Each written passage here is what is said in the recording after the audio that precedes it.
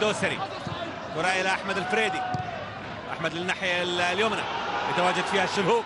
ملعوبة من الشلهوب. يو بيونغ سو يتقدم لصالح الهلال. يو بيونغ سو بيحاول بالعرضية. إلى العربي! العربي هدف ثالث. العربي والهدف الثالث في الدقيقة الثالثة والثلاثين. يوسف العربي يظهر للمرة الثانية. يظهر مجددا ويسجل هدف ثالث الهلال.